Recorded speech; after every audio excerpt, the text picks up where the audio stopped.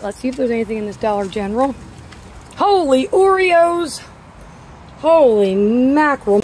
And look at this entire box full of paper plates. Trash bag is, it's all home decor. Bag is decor. See these wire baskets? Here's the lids, cups, little baskets, blessed signs. This whole bag is full of decor. Look at that.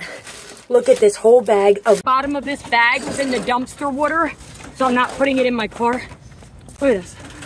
Cups. Bucket thing, bucket thing. Be sharp cups. Cups, cups, water bottles, candle, soap dispensers. Oh, it's falling out of my car. All these cups. Mm -hmm. That's what that looks like.